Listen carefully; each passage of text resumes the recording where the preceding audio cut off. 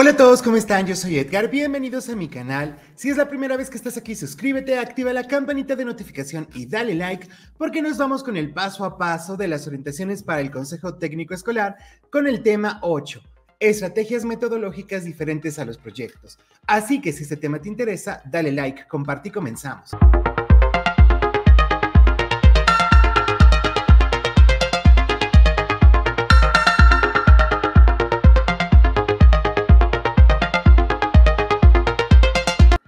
El propósito de esta sesión es revisar algunas estrategias metodológicas didácticas con la finalidad de contar con más propuestas para abordar los diferentes contenidos curriculares de la nueva escuela mexicana. Como primera actividad se propone observar el video del secretario de Educación Mario Delgado Carrillo, que en cuanto esté en el canal lo agregaremos para que lo cheques. Comenzamos con las ideas centrales de estos documentos. Recordemos que el Plan de Estudios 2022 reconoce la autonomía profesional de los docentes, la capacidad que les permite, entre otros aspectos, decidir la manera de organizar los contenidos curriculares, la incorporación de contenidos necesarios de acuerdo al contexto en el que desarrollan su labor, las formas de enseñanza que desarrollan, la evaluación de los aprendizajes y la manera de articular el trabajo colaborativo con sus colegas. Es importante reconocer que existen otras formas de trabajo Existen además del trabajo por proyectos diversas metodologías didácticas que promueven que los estudiantes se reconozcan como sujetos que forman parte de una comunidad, a la cual pueden contribuir desde la escuela, en su mejoramiento o en la conservación de saberes, tradiciones y creencias a partir de la colaboración con sus pares. Las sugerencias que se presentan en estas orientaciones no son las únicas, pues se considera que las y los docentes tienen la experiencia y el conocimiento para aportar otras propuestas didácticas que permitan a los estudiantes problematizar la realidad y proponer diversas estrategias de solución. Los estudiantes son quienes proponen, investigan, interpelan los resultados, desarrollan alternativas. También favorecen el pensamiento crítico, la creatividad, el diálogo, la escucha, la argumentación, y la aplicación de lo aprendido, a la vez que reconocen el territorio geográfico, social, cultural, económico donde habitan. Como primera actividad propongo que reflexionemos como colectivo en torno a las siguientes preguntas.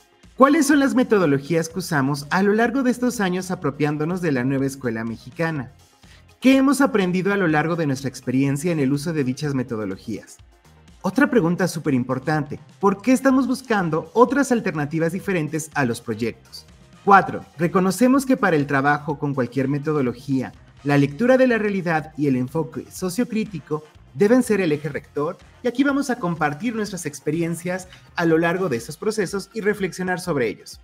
Posterior a ello, propongo maestras y maestros que en plenaria elaboren la siguiente tabla en el pizarrón o en papel bond y reflexionen sobre las siguientes indicaciones. Tenemos en un primer apartado las modalidades, taller crítico, rincones de aprendizaje, centros de interés, unidad didáctica, aprendizaje basado en el juego y proyectos. En la segunda columna vamos a rescatar nuestros conocimientos previos. ¿Qué sabemos acerca de estas modalidades? Después, ¿qué queremos saber acerca de estas modalidades? Una siguiente pregunta en la tabla es cuáles son nuestras principales dudas de cada modalidad.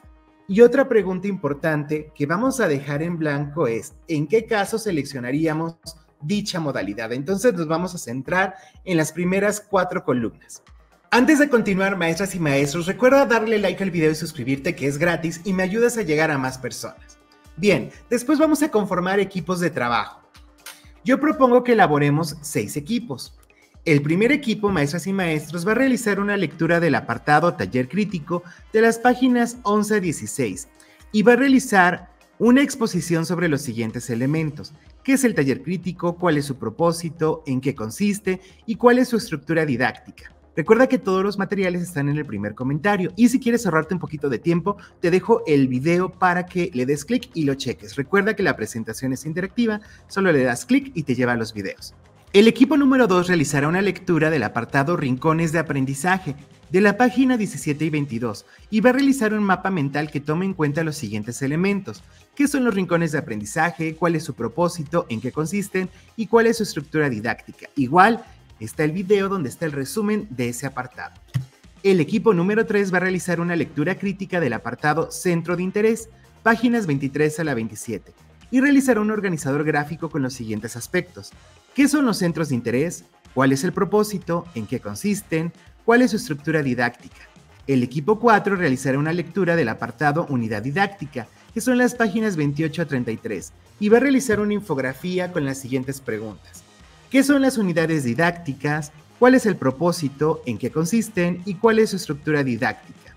El equipo número 5 realizará una lectura crítica del apartado Aprendizaje basado en juego, página 34-38, y realizará un cómic con los siguientes elementos. ¿Qué es el aprendizaje basado en el juego? ¿Cuál es el propósito? ¿En qué consisten? ¿Y cuál es su estructura didáctica? El equipo número 6 realizará una lectura del apartado Aprendizaje basado en proyectos, página 39 a 43, y realizará una tabla comparativa con los siguientes elementos. ¿Qué es el aprendizaje basado en proyectos? ¿Cuál es su propósito? ¿En qué consiste? ¿Y cuál es su estructura didáctica? Te recuerdo que la presentación es totalmente interactiva, así que dale like y descárgala. Posteriormente a ello van a exponer sus producciones, es decir, van a compartir sus producciones ante el colectivo, Van a comparar sus conocimientos previos de la tabla elaborada previamente. Van a reflexionar los cambios que se proponen en estas modalidades y en conjunto establecerán acuerdos sobre la columna 5. Recordemos, la columna 5 es en qué caso seleccionaremos cada modalidad. Se busca que reflexionemos a través de nuestras experiencias en las bondades que tiene cada una de estas modalidades y también en el uso o momentos que consideramos que las podemos utilizar. Recuerda darle like al video. Continuamos. Posteriormente, los mismos seis equipos de trabajo revisarán ejemplos de planeación de las modalidades. El equipo 1 analizará un proyecto que se llama Me lo contó un pajarito de la página 46. El equipo 2, un ejemplo de taller crítico denominado Taller Artesanal Antimáscaras, página 64.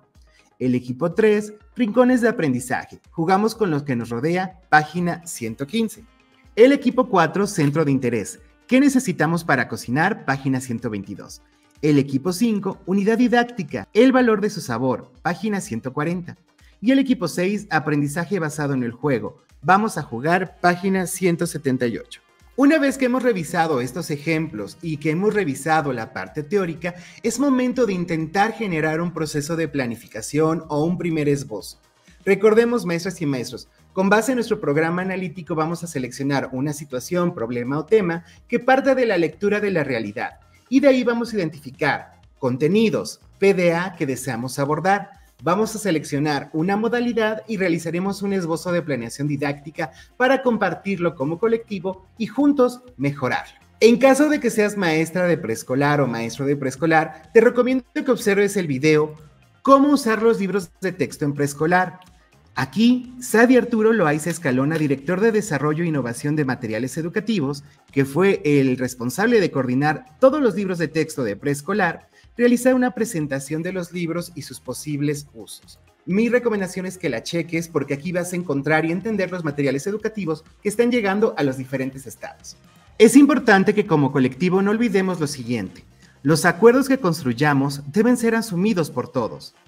Recuerden, partir de la selección de modalidades con base en la lectura de la realidad. También compartir en el siguiente consejo técnico los retos, avances y dificultades a los que nos enfrentamos al utilizar estas modalidades. Recuerden, maestras y maestros, seleccionar el tema que abordarán en la siguiente sesión de consejo técnico escolar. Aquí tenemos nueve temáticas más que podemos seleccionar para la sesión par que corresponda. Para finalizar, la SEP nos recuerda que tenemos la guía para docentes de educación básica, todas y todos contra el acoso escolar, en el que está vinculada con actividades de los nuevos libros de texto gratuito. Y también podemos checar la página de internet Escuela Libre de Violencia. En el caso de la estrategia de vida saludable, se nos recuerda que esto está en relación de los contenidos de los campos formativos con los ejes articuladores, que se construyen a partir de la realidad que viven los estudiantes, por lo que es fundamental Particularmente en el caso del eje articulador vida saludable, considerar las condiciones y problemáticas particulares en las que viven para que los procesos de desarrollo de aprendizaje se expresen en mejores hábitos alimenticios, en el cuidado de sí y en la prevención de enfermedades, entre otros aspectos. Y con eso terminamos el tema estrategias metodológicas diferentes a proyectos, que es uno de los temas del Consejo Técnico para el ciclo escolar 2024-2025. Te recuerdo que en el primer comentario está mi Instagram, sígueme por allá, podemos estar platicando más y también están los materiales gratuitos para ti. Yo soy Edgar, sígueme en mi Instagram, en mi Facebook, en mi TikTok, por todos lados como Edgar Valladares y recuerda que aquí, aquí, aquí, tú y yo juntos aprendemos. Déjame un comentario bonito si te gustó el video. Bye bye. ¿Ya sigues este canal? Ahora te invito a que busques y sigas a Edgar Valladares en todas sus redes sociales como Instagram, Facebook y Twitter. Vas a encontrar material exclusivo en cada una de ellas y si ya lo haces, felicidades, eres parte importante de esta comunidad. ¿Sabías que al hacerte miembro obtienes más beneficios? Uno de ellos es que tus dudas serán atendidas con un trato más personal. Solo dale clic al botón de unirse, escoge el nivel que más prefieras, selecciona tu forma de pago y listo. Así de fácil. Recuerda, juntos por una mejor educación. thank you